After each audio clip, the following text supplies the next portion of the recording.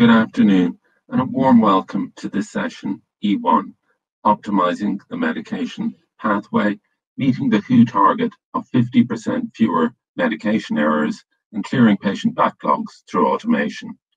Kieran Walsh is my name. I'm Clinical Director at BMJ and I'm delighted to be chairing this session. I'm also delighted that this session has been sponsored by Becton Dickinson, who are working in this area.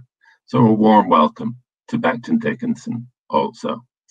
Medication errors can result in many challenges for both healthcare workers and patients alike. But with modern technology, medication management can result in more efficiency and standardization. In this session, you learn how automa automation and digitalization along the medication pathway can help clear patient backlogs, reduce length of stay, and boost staff efficiency. I'm excited to introduce a great panel who are going to speak to these subjects. They include Anders Westermark, MD Project Lead of Safe and Efficient Pharmaceuticals chain, Uppsala University Hospital, Sweden. Rachel Elliott, Professor of Health Economics at the Manchester Centre for Health Economics UK. Johan Hellings, CEO AZ Delta and Senior Lecturer of Patient Safety, Hasselt University, Belgium. Mike Fairbourn, Patient Safety Chair at the Association of British Health Tech Industries, VP and General Manager at BD UK and Ireland, and John Dean, Clinical Lead for Quality Improvement and Patient Safety at the Royal College of Physicians and Deputy Medical Director of East Lancashire Hospitals NHS Trust. So let's start with Rachel and then John, who are going to speak to the current situation.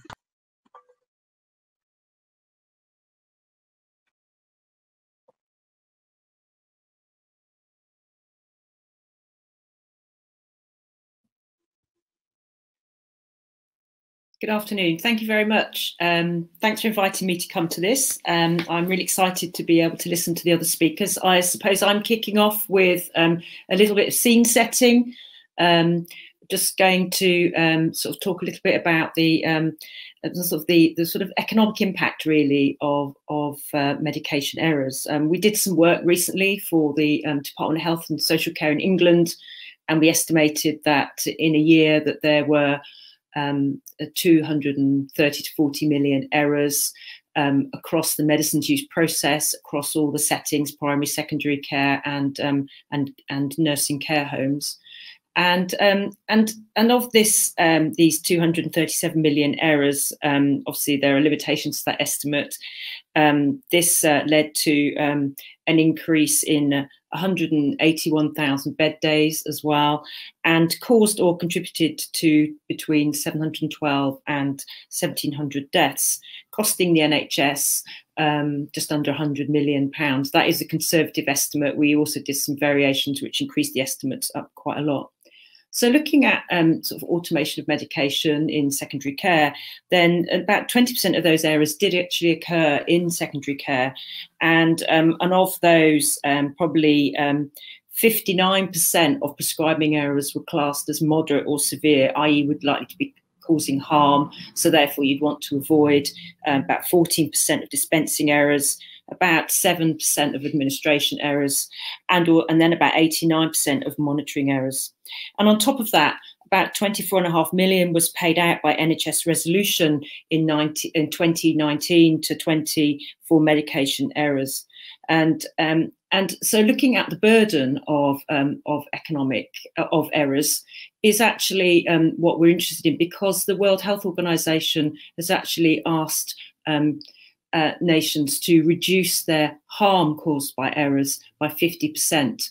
Um, and this means that we need to be able to focus in on the on the errors that are important, that cause harm to patients, and associated increased resource use um, for for healthcare. And just to give you an example, um, um, some work that was done in the UK recently suggested that um, over a third of people over 65 who were discharged from hospital um, experienced some sort of medication related harm in the next um, eight weeks and three quarters of those were due to prescription issued in secondary care.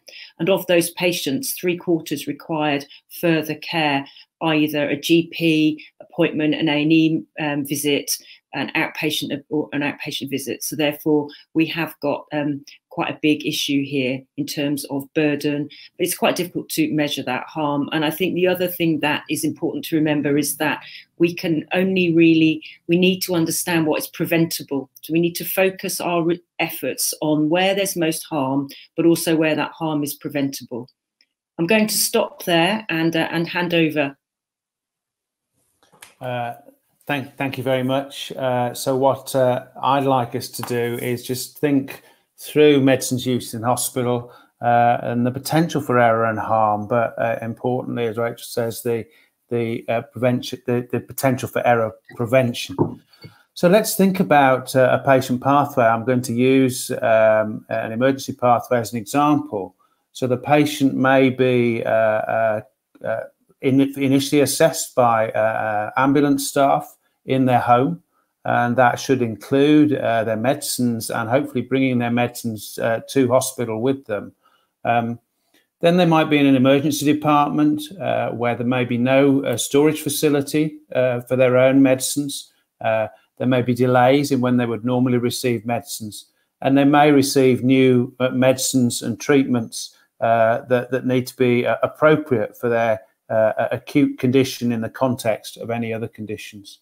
Um, then they may move to an assessment unit where there may be a more detailed assessment of their clinical condition and a reconciliation of the medicines that are being prescribed there with the medicines uh, that we need to understand they've been taken before they come into hospital, and that needs a detailed interaction. But their condition may have changed. Around one in 10 acute medical admissions will have uh, deterioration in their kidney function, which will alter uh, their, their, their medication needs and, and how we monitor those.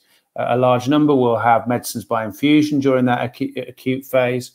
Um, and then, if they stay in hospital, they may move to another ward environment. If they're a surgical patient, they may go to theatre. And again, there are ongoing care and monitoring needs on the effect of the medication on their condition. And then again, has been highlighted their discharge from hospital, and there's a further transfer of information, and there are large error rates there. But let's think about the medicines process then, because that has a number of features. Um, we prescribe or we may deprescribe when the patient is in hospital with an acute condition. There then needs to be a timely supply of the right medicines, either the patient's own medicines or medicines that are supplied by the hospital. There needs to be administration at the right time by the right route at the right dose uh, and ensure that happens reliably, particularly for critical medicines at critical times. And then there needs to be uh, adequate monitoring of the effect and potential side effects of those. But there's a change in control, particularly with some critical medicines, where uh, outside hospital, patients are in control of the timing, the dose, how that links to other elements that they're doing, such as eating, for example, or movement or time of the day. And yet, often that control is removed from them and fits into a hospital routine rather than the patient's routine. Then let's think about risk. Let's think about where are the highest risks. So we may have high risk medicines, which may have a, a, narrow therapeutic window, may have a high side effect profile, uh, uh, or, or, or, again, uh, maybe, maybe time critical. We have high risk patients due to their uh, ongoing their medical condition, be that uh, renal or, or, or, kidney dysfunction, for, for, for example. They have multiple conditions, they have multiple medications, they're particularly sick and vulnerable at that time. And then we have high risk context, contexts. So a busy a busy department, uh, a situation where medicines need to be given quickly. We need to be monitoring the effects quickly. Uh, uh, we, uh, we, we may have other factors going on with that patient care or, or within that department. So we know, for example, that the, the biggest reason for patients not being detected when they deteriorate is because another patient is sick and requiring care at that time. Then we need to think about cause and effect. So the cause of an error or harm may occur at one part of that pathway, but it might be detected elsewhere, and the effects may happen at a later stage. So we need to be identifying both potential cause, uh, detection, and, and, and their error prevention. And then finally, uh, if there are errors, we need to think about a systems approach because these will be system errors and what are the key elements of the system we need to consider. What about the human behaviors and the behavior of the team? What about the knowledge of the different team members or their technical skills? What about the equipment that's used uh, to, to, to supply or administer or monitor the medicines? What about the physical environment and the cultural environment in which that sits? And how is that system designed? Both, both the fixed design uh, that needs to be worked with and that should be uh, at low risk, but also the adaptive design so that that can change at times. So I hope what I've done is painted a picture for you of a patient coming into hospital and the potential for error uh, uh, the potential for harm, but also the potential for error prevention. And I'm going to hand on to our next speaker. Thanks, John and, and, and Rachel. So let's um, move on quickly to Johan and Anders and implementing autom automation. Uh, Johan, uh, please. Thank you. Good afternoon.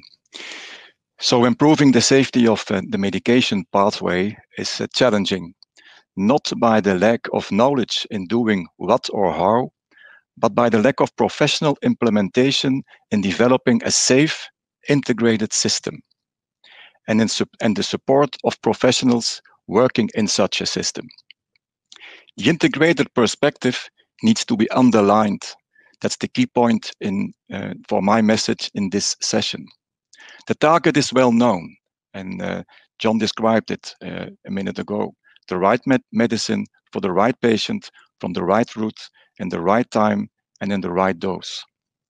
This can only be guaranteed in a comprehensive system, focusing on structure, process, and culture. I will explain it further. In developing the right structure, the key role will be an integrated electronic patient record system. This will be the crucial backbone, I think, in connecting information with technology, supporting the professionals. All clinical information of the patient needs to be integrated in such a system. So the physician can start with the prescribing from the computerized physician order entry, and there is, of course, intelligence in that system, helping the, the, the physician with the prescribing and preventing of errors. For example, giving alerts by specific drug interactions. The potential of this growing intelligence in prescribing drugs using all kinds of data and knowledge is promising for the coming years.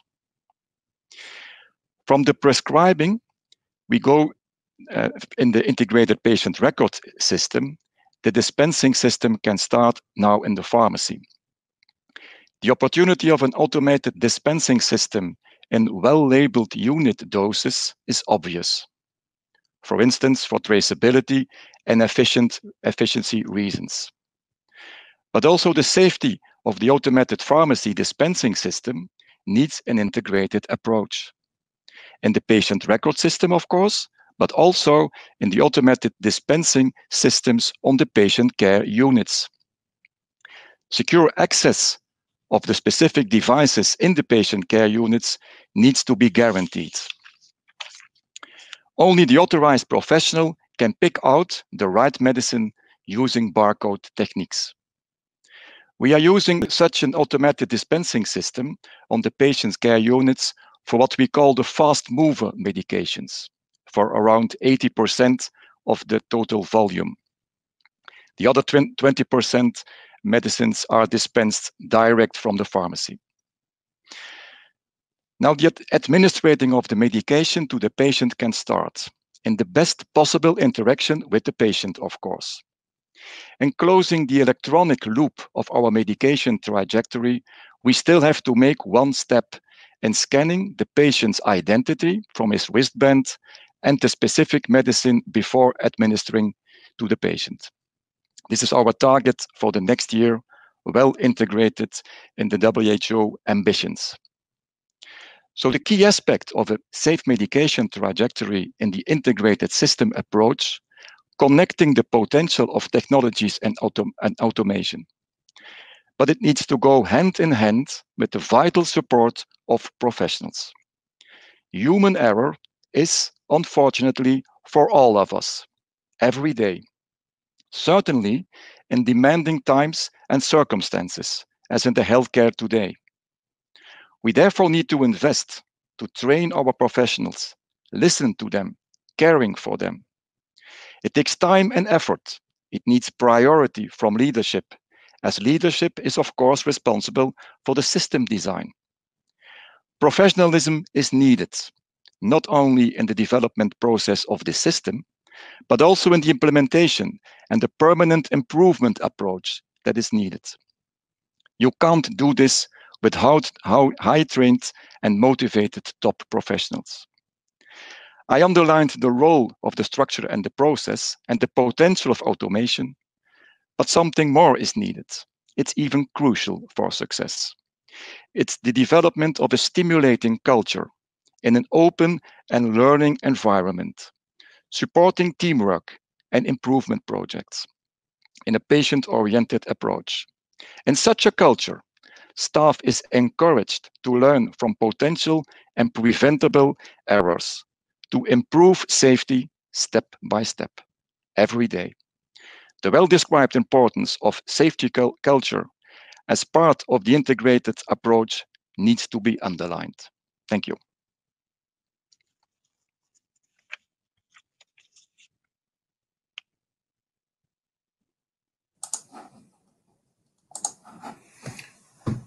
Thank you. So uh, I will continue. Um, thank you for this opportunity to to uh, speak. Uh, as mentioned, I'm a project lead for safe and efficient pharmaceuticals chain at Uppsala University Hospital, a hospital of 600 beds in the north, northern part of uh, Stockholm. Um, I used to be an orthopedic trauma surgeon five years ago, so um, I come from healthcare and do not know a lot about medication or automation to begin with. Um, I'm going to talk about the insights from the implementation of automation at our hospital. We are still at the beginning of this journey.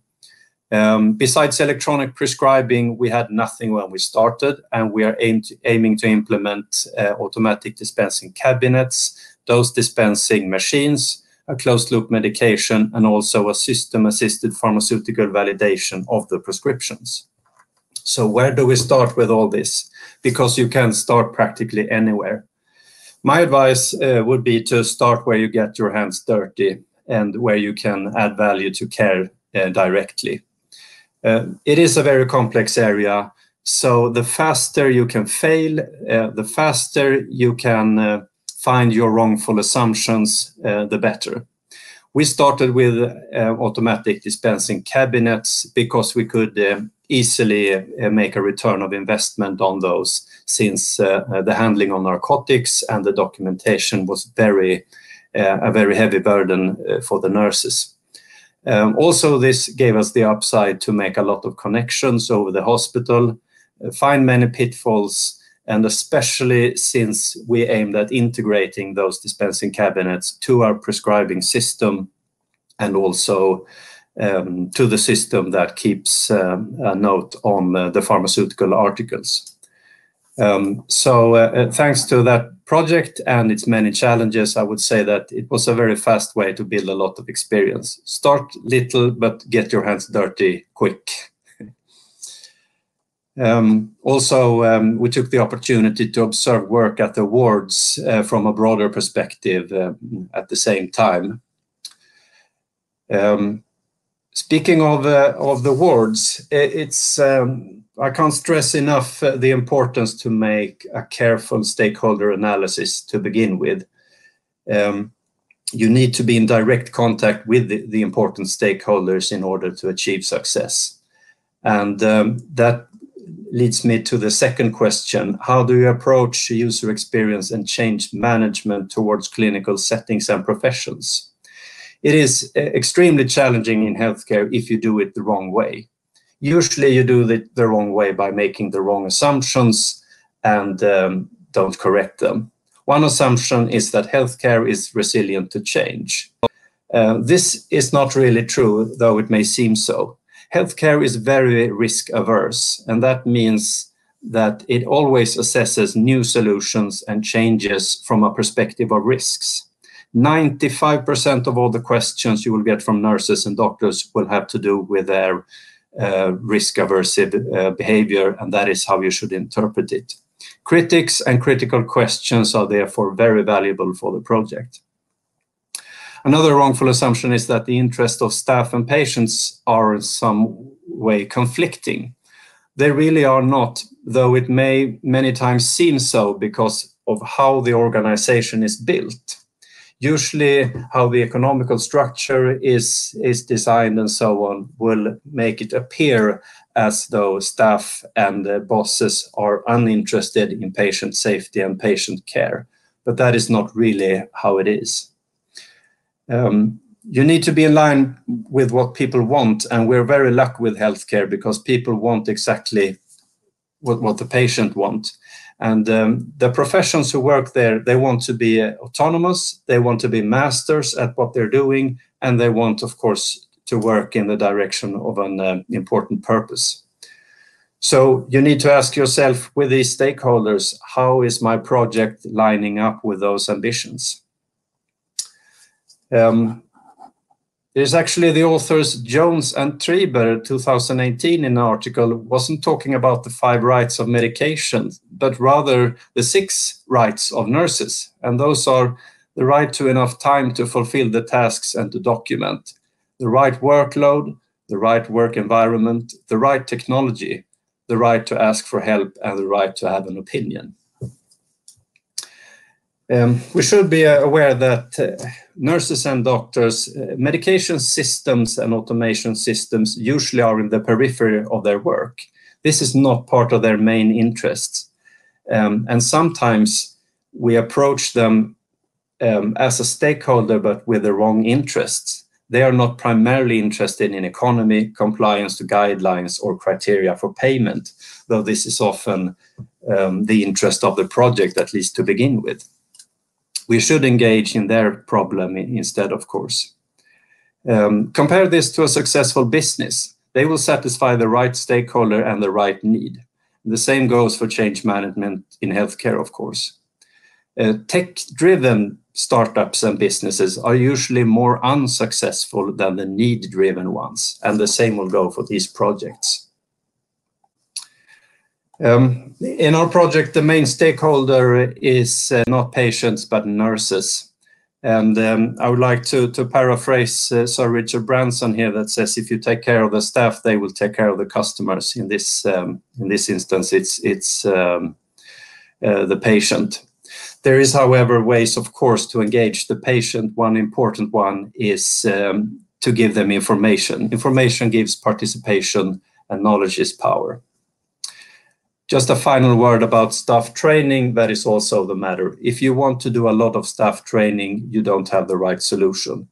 Nothing should take more than two hours. If it does, then train people who can boil it down to two hours of training, and that's it. Thank you. Thank you very much, Anders. That's really, really helpful. Uh, we're now going to move on to the next section, which is trending towards zero error, where I think all panel members are going to make a contribution, but starting with Mike. Thank you, Kieran, and, and good afternoon, everyone. Delighted to join this esteemed panel to, to look at this important topic of uh, uh, the challenge really laid out by the uh, World Health Organization to deliver medication without harm. And I just wanted to touch on why this is so important to my company, BD. We've been operating for over 120 years. And BD is one of the top five health technology companies globally. Um, and our purpose is really to advance the world of health. We do have a broad set of solutions and capabilities. Um, and so we do believe we're in a, a, really strong position to support health systems in their journey towards a future, um, as, uh, as Johan has said, of, of a fully integrated healthcare environment uh, by providing advanced solutions that crosses the entire continuum of care. So from discovery to diagnosis, uh, medication management, and ultimately treatment. So it is a broad portfolio that we have at BD, but our entire focus is really on improving safety and efficiency across health systems. So even when we think about integrated care across the continuum, hospitals clearly will remain uh, an important part and probably at the heart of those systems. But as we as we've heard from John, uh, the patient journey is often quite a complex complex one. So when we think about the hospital of the future, and specifically about medication management, probably a good place to start would be what problems are we really trying to solve? What is it that's getting in the way of meeting uh, the World Health Organization challenge? It can't be much of a surprise to any of us that with the extreme pressure of managing through COVID, the, the significant medication management challenges were exposed and, and medication management actually went somewhat awry in circumstances. Research we've done with our customers and other research by experts in the field have demonstrated that today hospitals are facing probably four major medication management challenges. The first one is, is drug shortages. A widely recognized pain point, and based on a recent survey, 90% of hospital pharmacists have seen care impacted by this. Shortages in most cases are caused by issues in supply chain, but they're also worsened within the hospital walls because of the lack of systems and software providing reordering and optimization recommendations when stock level is getting low across the hospital. The second challenge is related to waste of expired medicines, with studies mentioning up to 20% of meds discarded each year. In many hospitals, when a drug leaves the pharmacy, it's very difficult and complex for a pharmacist to know when or if it has been used, or when it's going to expire, or if the ward requires replenishment. Pharmacists tell us it actually feels like it's, it's driving in the dark. The third issue and challenge is one connected to inefficiencies within the system, which has been alluded to by, by both Johan and Anders, where clinicians and pharmacy staff are spending up to 30 or 40% of their time on non-value added tasks, time that could be better spent on caring for their patients. For example, it's been shown that nurses in a hospital are making up to 400 calls a day to the pharmacy to look for medicines they need. And this is a very apposite point, really, following in the UK yesterday's publication by the Health and Select Committee on staff burnout and staff shortages. Moving now to the to the final and the fourth challenge, it's related directly to patients and their safety. And the statistics are pretty astonishing, and, and Rachel has alluded to, to much of these. Many of these medications are avoidable. Uh, but they're still happening and in some cases causing harm uh, and death. Um, the, the, the cost, the direct cost, as Rachel said, is about 100 million. But if you add in all the associated costs, it can rise to more like $2 billion uh, a year. So I guess the question is, why do these challenges still exist in the 21st century? It's true to say that medication management is a complex process with as many as 50 steps involved, and we've heard some of that from uh, uh, from our contributors today. Hospital departments, technologies, and processes invariably are disconnected and not integrated with each other or with the hospital IT systems. And there's lots of manual workarounds that staff have to do to compensate for these disconnected systems. And these manual steps could potentially lead to unintentional mistakes and often harm to patients. So at BD, we have a vision and a set of solutions to simplify and automate this process. We, have got technologies around the management process in the pharmacy to store and compound, in the ward to store and safely dispense, and at the bedside to safely administer both oral and IV drugs. All of these solutions are connected via software and analytic systems that harness the power of data generated by all of these products.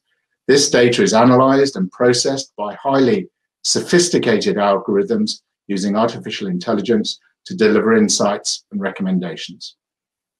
And then with this data, you can detect and mitigate safety risks before they actually reach the patient and drive operational efficiencies to improve the overall management and process workflow from pharmacy to wards. So this sounds expensive, but actually complexity not only creates safety risks, it also is very costly. The automated and connected solutions which I've been describing for the hospital of the future will not only drive safety and improve outcomes, but also drive efficiency and actually has been demonstrated to reduce the overall cost of medication management. So thank you. And Kieran, I'll hand back to you. Uh, let's please go straight on to to to, to uh, John. Uh, thanks, Mike. Thank you. So we've we've heard a lot about the problem. We've heard some uh, some hints at, at where automation uh, uh, may help, but but and other elements as well. So so what what do we do? Well, fundamentally, uh, we have to use a human-centered design ap- approach, and that means understanding our local systems, understanding where the error points are, uh, and where the opportunities are, but understanding how people work. It means understanding local people, their interactions, their interactions with the technology, and it means understanding the local risks, and it then means taking a proactive design approach. But what are the key elements or the key attributes of that design of a, a safe uh, hospital system for, for medication? The first is information.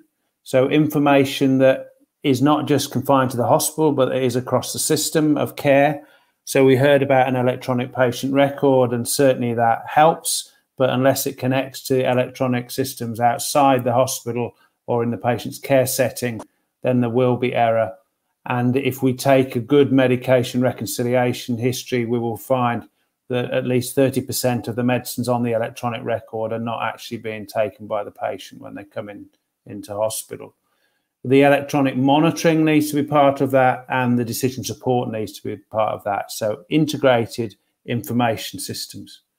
We need effective teams where doctors, patients, and families working together, nurses, pharmacists, engineers, facility design are all working as an effective team so that they know their roles, so they're contributing to design and improvement, and, and they're working together to find solutions and learn from when things go wrong and when risks occur. We need reliable processes that are agreed around standard work, uh, that are audited and monitored, uh, and and that are also adaptive uh, when, when, necessary. But they need to be designed locally uh, to, to, to, to meet the local system. And then we need a learning approach so that when error or harm occurs or when risk is identified, we've got feedback loops within that, that uh, uh, effective team uh, and the organization is supporting those learning loops in order to make change to our systems and processes so they can become more reliable. And fundamentally, we need a risk approach so that we're looking forwards and we're asking the question, what could possibly go wrong? And then we're uh, putting systems in place that might reduce the chance of that going wrong.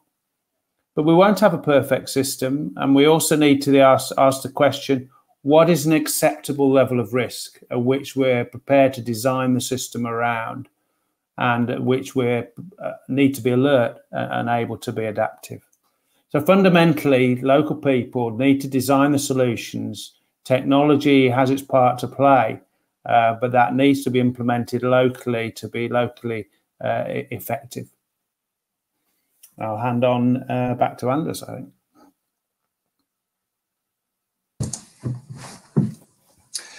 Yes, uh, thank you very much. Um, so, um,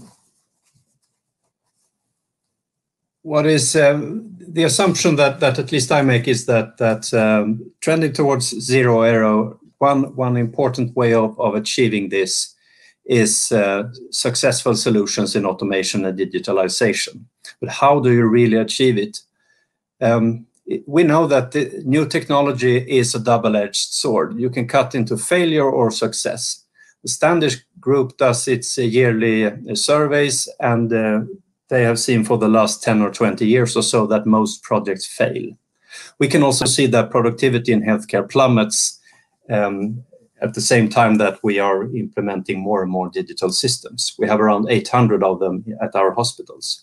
But this can be achieved if you do it the right way you need to weld together two important factors in the right way. One is the human factor.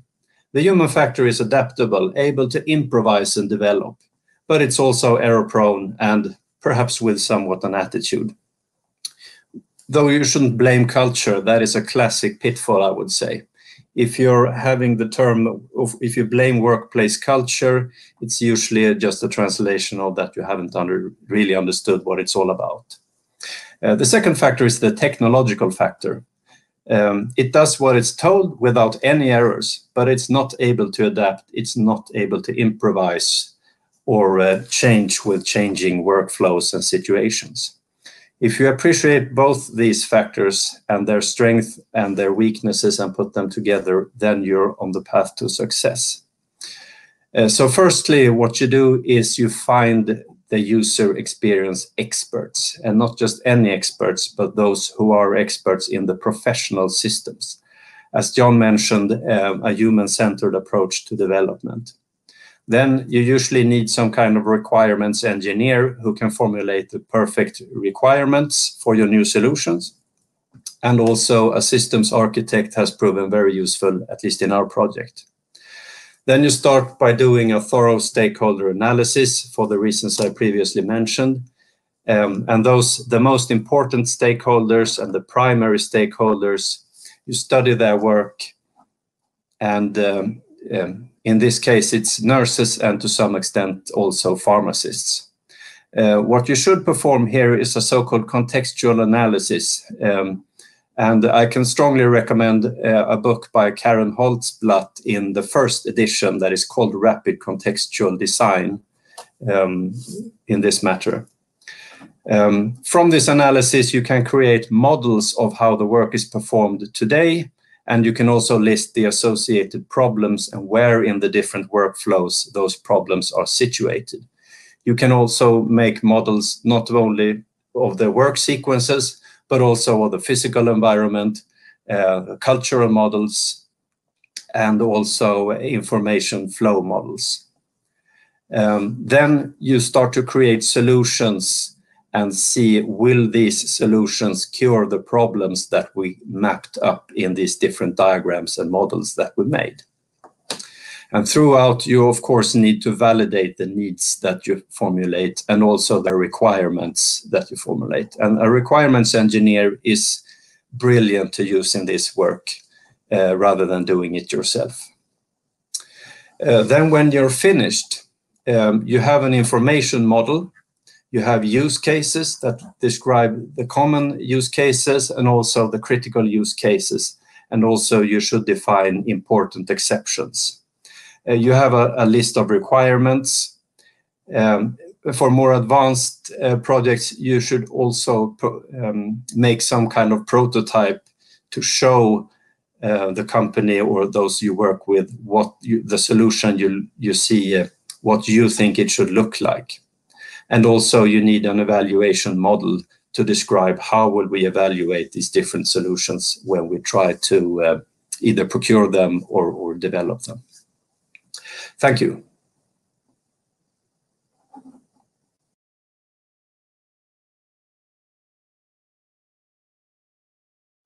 Sorry, I'm on, on, on mute. Uh, I think we should go to Johan next, please.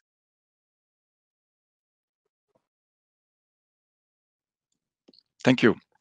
I, I would um, make a reflection from the COVID-19 uh, perspective in uh, this session. Um, the COVID-19 impact in our hospital was uh, overwhelming. And, and um, it was a quite tough period for all of us in our, in our hospital. But it was also a period when we developed a new spirit in our hospital uh, with a focus towards our internal staff, but also focusing on working together with um, the outside uh, care deliverers. By doing so, we created a new connection with primary care centers, focusing on the COVID-19 screening and now vaccination. But we also discovered new opportunities in working together with the local communities and new facilities in connecting with our patients. Perhaps too long, hospitals were the center of care. But the evolving patient care needs require new approaches and new care models. We think that the concept of integrated care is more than promising, and hospitals will evolve to new partnerships with primary care and other facilities. This evolution, this perspective, has of course also impact on the medication trajectory. As I underlined earlier, the important role of integration in the hospital, the integrations perspective will also be vital in the new care models that will be developed in the future. So prescribing, dispensing and administering medication will grow outside the hospital, but it is far more difficult to develop the needed system approach. We see the advantage of clinical pharmacy working on emergency units when patients arrive, using an electronic connection with the home medication of the patient. We see the importance of electronic communication with and access towards the electronic patient record for the primary care physicians. It's promising that are the first signs of more integrated care. But our healthcare system is still fragmented in different ways, and so integration and developing a system approach is remains challenging. Transformation of the healthcare system is therefore needed. The COVID-19 pandemic can be a turning point for this transformation, triggered by the evolving healthcare needs of patients in the future. It would be interesting and promising, I think, that we could develop a business case for safe medication system. When we take the quality and safety dimensions of the well-known IOM uh, framework, uh, effective, efficient, timely, patient-centered, equitable, and safe, that would be a very interesting starting point and the medication trajectory of the patient as the objective. I'm strongly convinced, and we can see it in our daily practice in this hospital, that we can improve on effectiveness, efficiency, and waste, as uh, Mike earlier said, and safety. Also, here is no lack of recommendation for good research, but the implementation of those recommendations in a fragmented environment remains challenging. It's a big appeal towards leadership, leadership and new uh, uh, and, and developing a new, more integrated healthcare system. We can discuss this later on, but for me, integration is the key message, and so more integrated care will be provi will provide us new perspective perspectives towards medication safety. Thank you.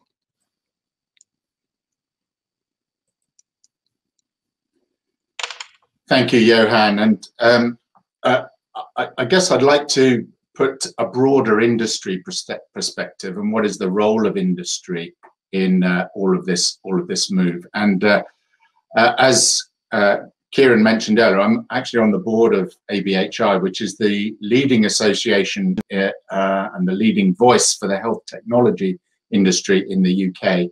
Um, there are over 4,000 health technology companies in the UK and employ over 130,000 people uh, and generate about uh, 25 billion in in, in revenues. Um, so it, it's it's a big group, and uh, I guess um, I'll make apologies at the risk of alienating half our international audience today. I'll answer the the question about the role of industry with a UK focus. Uh, but actually, at the heart of uh, the changes that are happening within the NHS are are what Johan referred to, which is this drive towards integrated care systems. And I think uh, the experience of the pandemic suggests that uh, there's an acceleration towards these integrated care organizations. So intuitively, that move should break down silos between primary, secondary care and ways of working, uh, and also budgets. Uh, and this in the past has been a, a persistent and significant barrier to the adoption of new technologies, uh, like the ones we've been talking about today. As Johan said, a safe medication system across the continuum. How do you actually go about uh, uh, making that, uh, putting that in place? Um, procurement is uh, sometimes seen as a bit of a dark cloud on all of this to make it all happen. And in the UK, at least, the government is currently consulting on public procurement. Um, Procurement can't simply be about acquisition cost savings. It must provide the system with a true value based offer, considering the full benefits of technology in the longer term, uh, and also uh, for health security, sustainability of supply. And value is about delivering the best outcomes that matter to patients within the money that's available in the budget. And to achieve this, in the words of uh, Professor Hamish Laing, who's director of the Value Based Health and Care Academy at Swansea University, both industry and the health system and the NHS need to show up in a different way. NHS procurement have traditionally been quite risk averse and so tended to focus on transactional relationships really with suppliers, where the focus all too often is on price and not value. Uh, and indeed, the current model we have in the UK, uh, current operating model in England uh, with category towers, is designed to really support that approach. It's great for the less or the more commoditized products to get the best price for the NHS. But when you're looking to facilitate the uptake of innovative solutions that uh, Johan's talked about, uh, like connected medication management, clearly this model isn't going to, to work. I'm pleased to say that model is being reviewed at the moment, and I'm hoping that the new targeted operating model will provide greater support to, to support the adoption of innovation. Industry, though, for its part, uh, may have been too focused on their own products and shorter term gains. So both industry and the NHS need to uh, look through a longer term lens to develop trusting multi year partnerships. And to build trust, industry needs to invest time and resource in truly understanding the needs of health uh, organizations, NHS organizations. And if we took the example of medication management, and for want of a better word, maybe it should start with a consultancy approach to really understand the current process that exists, identifying all the pain points and mapping out those moments of risk. This then provides a basis to co create solutions to address the suboptimal steps in the system. And then when it comes to procurement, the healthcare organization will be in a position to specify exactly what is required to deliver the best outcomes for patients, and then instruct procurement to go off and identify suppliers who can meet those specifications, uh, and then do the best deal to, to deliver that within the budget. Now, these solutions are likely to include multiple products and services, and it's unlikely that one supplier will be able to provide all elements of the solution. So, as suppliers, we'll need to think flexibly in how we respond to the tenders that would come out in response to these. And models do exist today for this uh, approach. Uh, an example is managed equipment service contracts. And these are quite good because uh, these types of arrangement, arrangements do build in the opportunity to share the risks between partners and build outcomes that matter into the contracts that they reach. But to get there will require change from uh, NHS, other health systems, and the industry to be more transparent with data sharing. Uh, obviously, we need to respect uh, data privacy laws. However, to gain true power of the interoperable solutions that Anders and Johan have spoken about, we do need to embrace the process of turning anonymized patient data into actionable intelligence, a point that John related to as well. If we all focus on the shared goal of getting the best outcome for patients, I'm sure this is possible. Uh, and we've heard the COVID pandemic has shown that when there is an urgent and shared goal, partnership between government, NHS, and industry can truly deliver extraordinary results. So, my hope is that we can retain this, don't let things slip back to the status quo, uh, when the crisis is over. So thank you. And uh, Kieran, uh, or I think it's Rachel, back to you. Thank you very much. Um, I've, I've, listened with great interest um, to the uh, speakers in this section, um, and um, my sort of job, I think, is to is to think about the the um, the data needs for um, for how we we hit the target you know how how do we how do we know when we've been successful i mean we, we seem to have quite a big ask here we want solutions that are needs driven not technology driven which is which is great which is um, uh, music to my ears. I spend a lot of time evaluating uh, technologies, and some of the digital technologies that have come through before and during COVID have been more technology driven than needs driven. This intervention, these these solutions need to be implementable. They need to be aligning with what people want and what they can do. They need to focus on the key users of the technology, you know, which might be nurses or pharmacists, for example. They need to come out within a budget. They need to be future proofed. They need to allow us to trend towards zero errors, and they need to um, somehow um, bridge that um, that transition from primary into secondary care as well. And this all needs to happen in a healthcare system that is resistant to change, that does not have interoperable systems. So this is quite a big ask um, to demonstrate um, that to de develop and demonstrate the effectiveness and um, efficiency of these systems. And and and I and I picked up on the use of the phraseology of value-based offer, not just acquisition costs. And of course, from a health economics perspective, that's that talks about well, how much does it cost to to to um, implement the system, but then what are we getting back in terms of benefits and what are those benefits? So you've got your, you know, how do we measure that this is a successful system? So what value are we getting from this system? So obviously the first thing to do is think, well, are, are the error rates going down?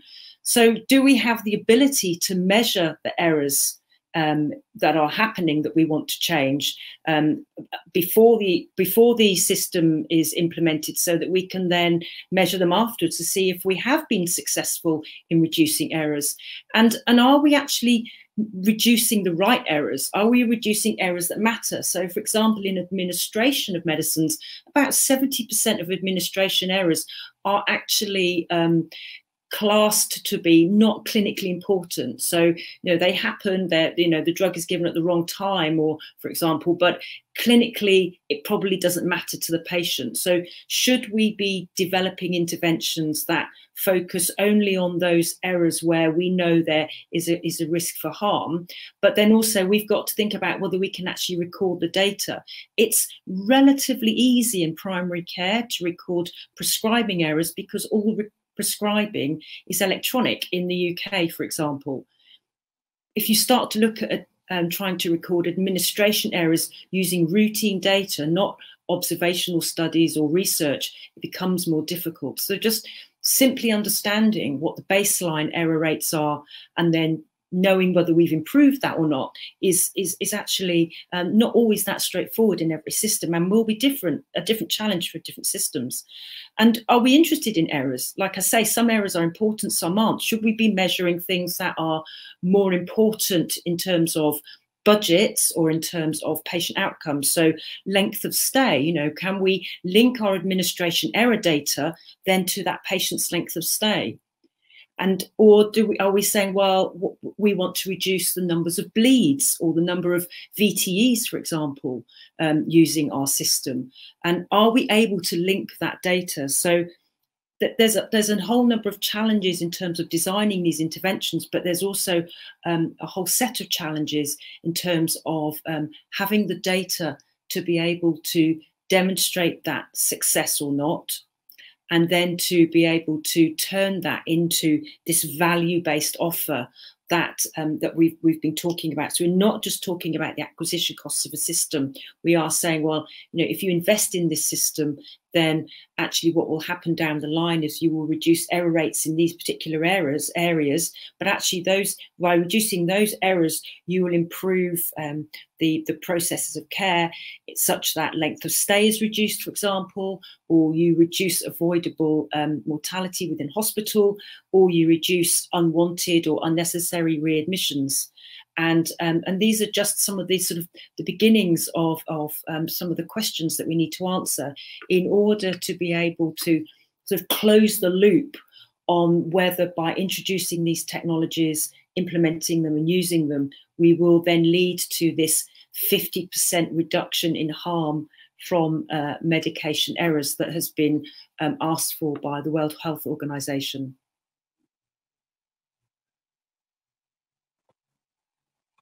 Thank you very much, uh, Rachel. That's really helpful. And, and thanks to all panel members who've contributed thus far. Um, I'd ask all panel members to now switch their video back on uh, as we move to the question and answer uh, section. And uh, and, and, to the audience, please do add further questions. We've got a good few questions in already, but we welcome more. Um, but let's start off with a question for Anders, please. Anders, how quickly did you benefit from the technology adoption? What were the biggest benefits? And what did you learn about how best to introduce technology to staff? So uh, our main experience comes from dispensing cabinets. I would say it's a fairly simple and very established technology. Um, it was very um, it was a very unsurprising experience since we had done time studies um, before and and um, after. it, it is uh, very hard to measure the benefits in in purely economical terms. Um, so so what we did instead was to um, to see um, to, to, just sort of count the benefits up to the, the point that we can say, yes, we can have a good return on this investment. Um, it's very difficult to, to specify it more than that, I'm afraid. And part of this project is actually also to uh, provide, um, well, opportunity for, for key performance indicators since we don't have them or, or we can't measure them at the moment. Was that the answer to the question or did I drift off? You know, I, I, I think it does. Just one follow up question related to that.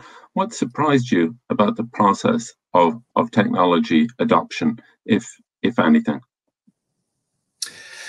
Um, the complexity for uh, integration between systems. it, is uh, many, many hurdles. You have the logics of two systems, and you also have the logic of the language uh, between those systems everyone told me that it is complex, but you really need to experience it. I, would say that was the, the biggest hurdle um, to, to overwin, and we are still struggling with it. So if you're aiming for integrations, keep it really simple and know that you're really benefiting from it. Okay, thank you. Um, let's move on to the next question. Uh, please, anybody can chip in to answer any of these questions. Uh, in the context of cybersecurity concerns, has anyone undertaken an assessment of the risk, ex risk exposures in that respect, given the direction of travel towards increased digitalization and automation? Who wants to take that one?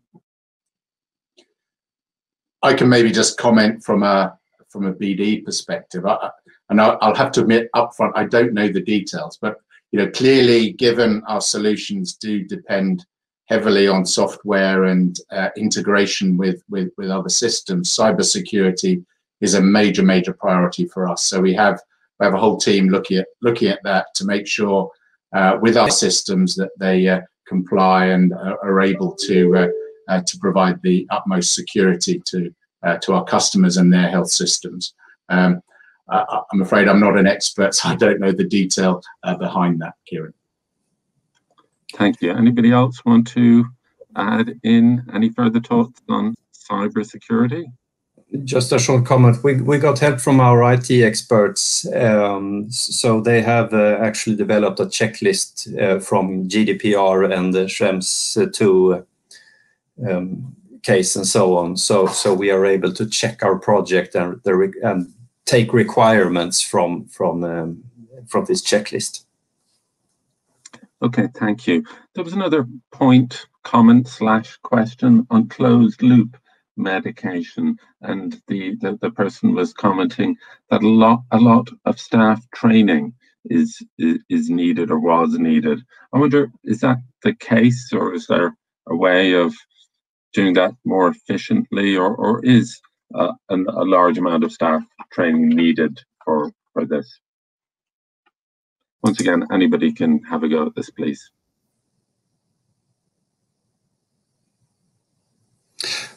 Well, I can start off. Closed loop medication in the meaning to have a bedside verification of medication administration is is the biggest challenge, at, at least in, in uh, from my perspective. It's incredibly difficult, and we are meddling with a situation between the nurse and the patient in the patient room, which is a very sensitive situation, so to speak. So um, um, I would advise. I, I wouldn't say that there's a universal solution other than that if you need a lot of staff training, you're probably on the wrong way. Uh, start early and start development from from the beginning actually even though there are ready solutions be sure to also try to develop your own your own concept and if if you need a human centered approach anywhere it's here okay thank you and a related question on a similar theme why can't we standardize a software nationally as this heavily impacts training needs every time we move from one hospital to another. I'm guessing that, that probably comes from a, a, a junior doctor. Um, who wants to take that one about standardizing a software nationally? John. I, I think this is a this is a key issue. Uh, I don't think I don't think it's possible uh, or it's a, it's a big challenge to standardize software nationally as as we know from the national program for IT that, that originally tried to do that in a number of areas but there are uh, ways in which we could have specifications for software so that it is when it is used by people in different institutions the user interface is similar or the same that does require a national joined up approach of multiple organisations. It requires a, a, the right sort of partnership uh, with industry, as, as, has been alluded to during during this during this discussion, and that open design uh, approach. Uh, it needs, uh, in a UK perspective, you know, the NHS to be prepared to be clear on specifications. But the biggest uh, gap, for example, at the moment in terms of uh, of of, of joined up medication information across the, across the healthcare system is is because we don't have a common language in medicines. So there's a big piece of work being led by NHSX on interoperable medicines.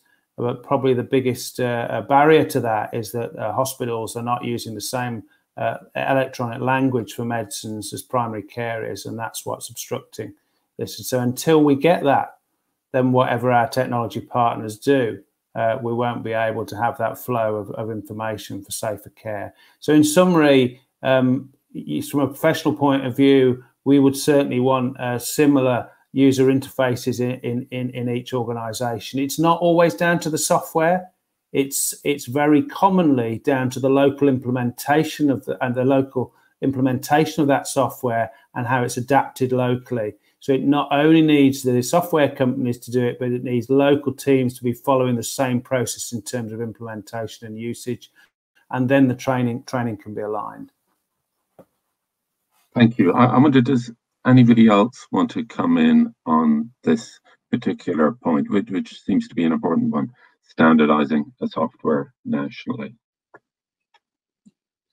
I can only endorse what John has said. Actually, from an industry side of things, it's um, you know if we can standardize specification, uh, I think that will that will help, uh, and we can do that through co-creation and and working with uh, with health partners to to do that. But uh, John has highlighted, you know, when you're looking to try and look, how do you implement, uh, let's say, medication management across the continuum? You need hospital to be talking to primary care, and I know in in some areas within uh, uh, within Scandinavia, for example, within Sweden. I know that that that happens, but in the NHS, it's been a bit of a um, bit of a holy grail that we've been trying to, to to, to grab, and I think that will definitely be a really good facilitator of all of this. There are workarounds for sure, but um, uh, it'd be better if if we could uh, try and standardise across.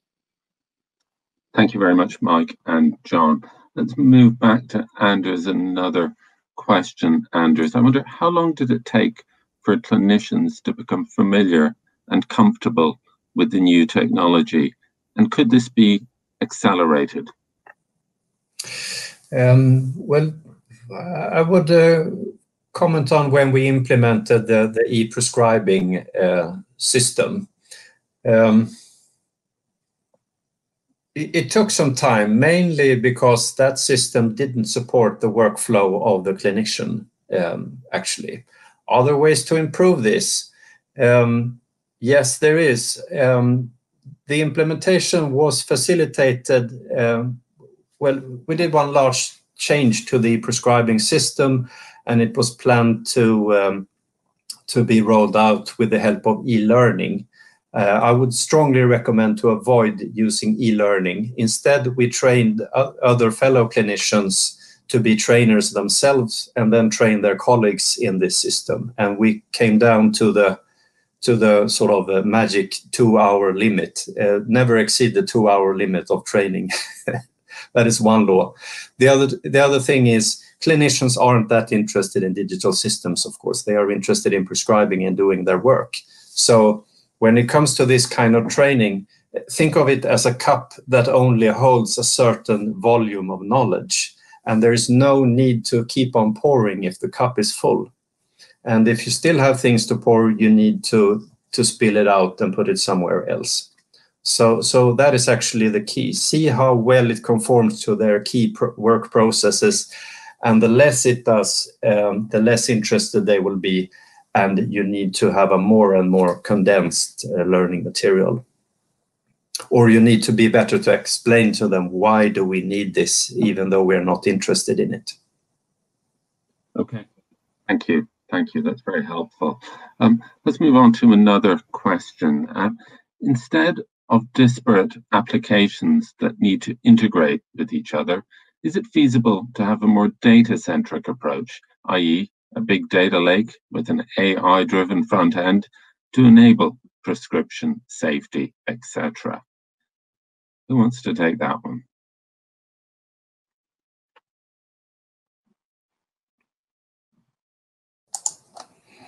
I can make a small comment, at least. Sorry, sorry, it's only me speaking. Um, well, after speaking with people in the know, one great supporter has been um, a retired professor who has been uh, working with IT and healthcare since the 80s. And um, after careful consideration, he would recommend that, uh, just exactly that, that we need to go to uh, a safe data storage and a somewhat standardized exchange of data but then a very sort of free world when it comes to the applications uh, and the programs using this data. That is definitely the future, um, but it's it's a matter of long time, of course. I think we're moving away from those big monolithic systems that are very hard to integrate with each other to instead having the care provider storing the data but then companies and services and clinicians can actually build their own apps and software as long as they're up to the security and safety standards. Thank you. Thanks. Thanks, Anders. Anybody else on the data-driven approach? Mike, sorry to put you on the spot. Yeah. Any? No, no, I, would agree agree with Anders there, and I think uh, you know areas that uh, uh, we've been developing is is kind of middleware really uh, that can integrate these um, disparate uh, programs into a central um, uh, database, if you like, that can then be used. That is just data. What you then need to do is to be able to analyze that to, to give you the insights that you need to, to improve safety. So we, we've certainly invested a lot in our research and development in, in that middleware type uh, uh, type package. That can link then to any uh, hospital electronic IT system. Uh, but that that middleware is actually the, the, the one place of, of, of, repository, if you like, of the data from those those disparate systems. So really support what the questioner has uh, is really driving at. Great, thank you. Thanks, Mike. Let's move on to another question. How do you build, and I think this one is probably most appropriate for, for Johan, uh, how do you build an impactful business case for the automation of medication in the context of competing investments in the hospital? Yes, that's an, uh, an interesting question. Um, I can um, I can make some reflections from our own journey. Um, we developed an integrated system uh, four years ago. Um, it took two years to prepare it. And to to think about it, uh, to reflect on it. Um, and every part of the system, the prescribing system, the dispensing system, it was all uh, well thought of. It's it's a whole, it's a project. Uh, you can calculate the costs of that uh, project, and I will give an example. By uh, integrating our system, um, the the waste of medicine was reduced by more than 30 percent before that that we had our integrated uh, system. Um, when we see that uh, another example, um, making phone calls to the pharmacy was spectacularly reduced. Uh, all the information is in the system, you, it's integrated, and the waste not only focusing on medicine, but also on um, time for nurses, time for doctors was also uh, improved. So when we are uh, making the roundup of our business case, yes, of course, you need to invest, and that's that's for sure. But uh, and we don't have all calculated in detail, of course. But I think everybody in our in our organization, and we are it's a big hospital with four thousand uh, staff. Everybody is ag agreed that it was a tough period. It's not easy to implement it, but it was worth the cost in doing so. And we are now doing the first studies uh, measuring the, the, the impact of focusing on patient safety. I, I give the example of the clinical pharmacy. As, the, as a result of all the integration, the clinical pharmacy can, can make far more faster connections with the physicians and our the, the potential adverse uh, drug events are detected almost immediately. So I think um, when we could make uh, those business cases with other organizations, yeah, I think it, it's we can we can improve on efficiency, on effectivity, and on patient safety. Thank, thank you very much. Um, let's move on to another question. Is it possible to break the taboo of medication errors? Many hospitals believe there, there aren't any, even though there must be. How can you change the culture to speak openly. And that's, we'll open that up to anybody. Well, I, I did a little. I did a little bit of research focusing on patient safety culture. Um, I think most important is uh, the example of leadership. Um, leadership has to create an open learning environment.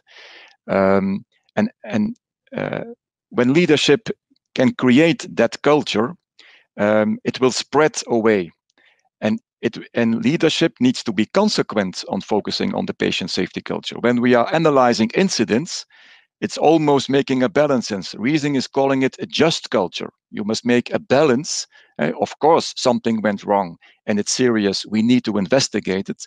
But because to err is human, we all are convinced that we need to improve the system and not blaming the, the individuals. And and I think that's that's the most far um, uh, challenge for for leadership is building, creating, an, an, an inspiring, motivating culture, a safety culture every day.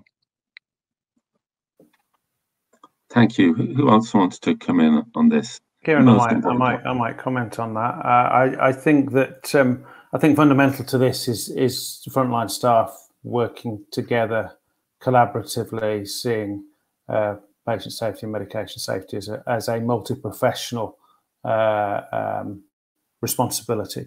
Um, so for every every medication error that's reported in a in a reporting system, there will be many tens of potential errors and and and, uh, and even small errors that are detected at a clinical level, at a ward level, maybe by the nurse, maybe by the doctor, maybe by the pharmacist, maybe by the patient.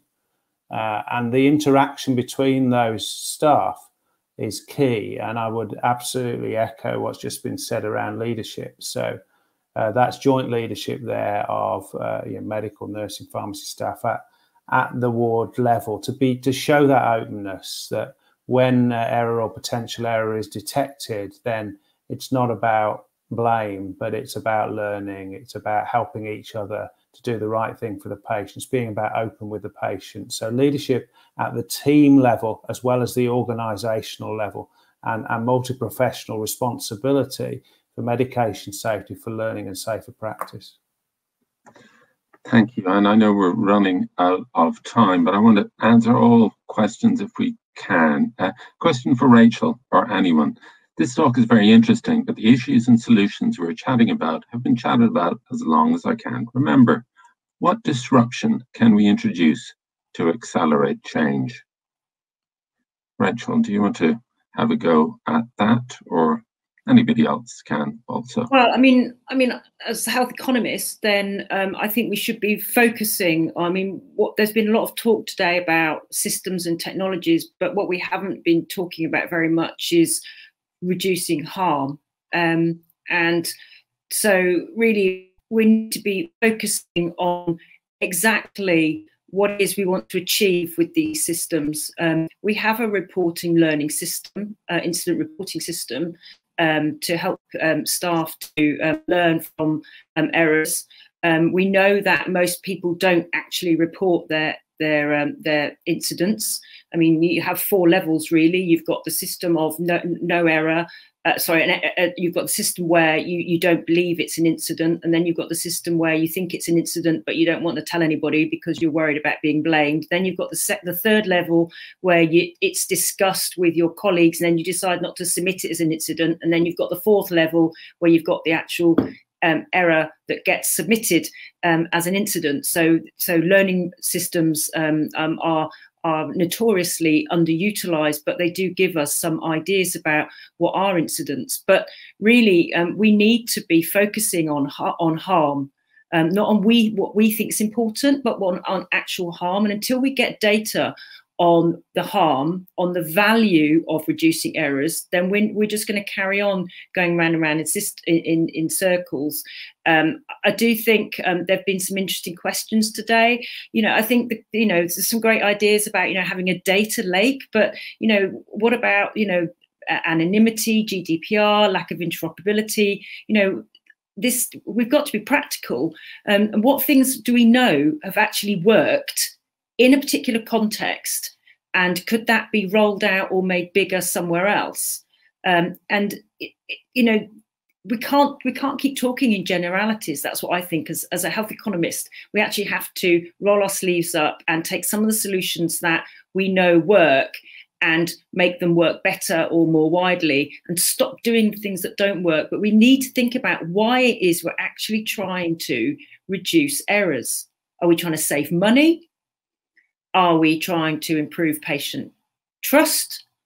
Are we trying to improve health? What, what is it we're trying to do and focus on what we're actually trying to achieve? Thanks very much, uh, Rachel. I know we're running desperately over now, um, but if any anybody else has any further comments on on on that point or on any of the other points made so far? Just a just a quick point, Kieran, if I may, and building on what what Rachel said, excellent excellent points there. I think you can have all the technology in the world, but then you know, as Anders and, and Johan have alluded to, it's about implementation. And I think, you know, I would say we, we maybe underestimated the change management required to implement these systems. Um, it, it, really needs probably more focus to do that. We're asking people to do things differently that they've been used to for, for many years. And we need to support that, that change, I think, to uh, make sure these technologies are adopted. Thank you. Um, Anders, yes. Just uh, might I just add that the second that uh, patient harm will be associated with costs, uh, the work will will accelerate. Sure, that's a very succinct and and good point and probably a good one to end it on. So time is up already. Thank you very much to the team, to the panel members, of course to Becton Dickinson, and thanks most of all to you for attending and taking part and asking such good questions. We'll make the recording live on the site in the next uh, in, in, in the next couple of days, potentially within the next 24 hours. Um, so Thank you very much indeed for attending, and we look forward to seeing you at the next session. Thank you.